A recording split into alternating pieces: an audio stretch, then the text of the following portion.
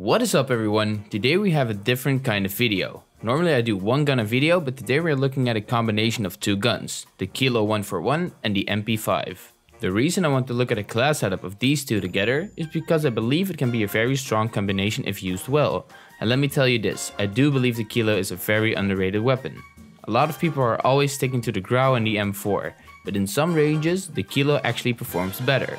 So without further ado, let's start with the Kilo. The first attachment will be the monolithic suppressor for more damage range and some sound suppression, a must use attachment on any AR. Next up is the Singuard 19.8 inch Prowler for more damage range, bullet velocity and extra recoil control. Combining this with the monolithic will make the Kilo have the best possible damage range profile it can have. Up next is the Tac Laser. This will increase the overall mobility and also the ADS speed. I care a lot about my ADS speed so a Tac Laser is one of the better choices on any weapon.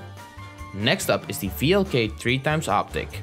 On almost any AR, I just use the iron sight, but with the Kilo I will use a scope and the reason is pretty simple.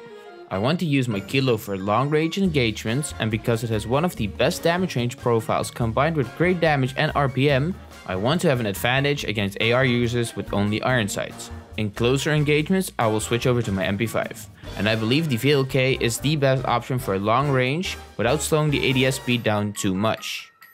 And finally, my last attachment is the 60 round mags. A lot of people will say that the 100 round mags are better, but I believe it is a preference thing. Do you want more bullets and slower ADS speed and mobility, or the other way around? It's your call. So this is my Kilo 141 class setup. It is built around range without slowing the ADS speed down too much. It's great for mid to long range engagements against solo players or whole teams. Just keep this in mind with the Kilo. The recoil pattern is up and to the left. It will not be as steady as the Grau, but it has better damage output if you hit your shots. Just try it out and see for yourself. Before we go to the MP5, what other gun do you think is underrated for Warzone? Let me know in the comments and tell me why it is underrated. Now let's look at the MP5, one of the most used SMGs in Warzone. Because I use the long range kilo as a primary, I will make the MP5 more close to mid-range focus. Let's look at these attachments. First up, I am using the monolithic integral suppressor and the reason I use that instead of the normal monolithic suppressor is that it does exactly the same but it gives you some extra range as well. I know it doesn't tell you it does, but it does. Next up, I use the Tac Laser for more mobility and ADS speed. Great for the MP5 and close quarter engagements. Up next is the Ranger foregrip for more recoil control and some aiming stability.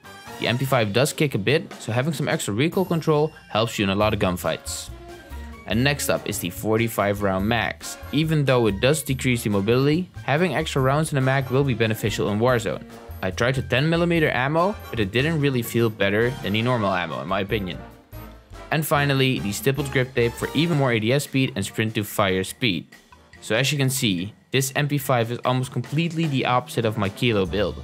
It focuses on speed and ADS speed with a little range buff. It is a perfect weapon next to the Kilo. Both of these weapons have pretty clear preferential fighting spaces.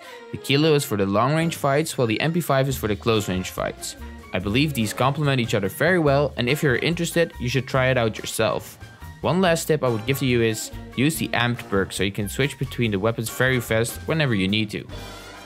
My name is Xsebtional and if you enjoyed this class setup please consider leaving a like and subscribing to my channel, it would mean a lot to me and as always I will see you in the next video.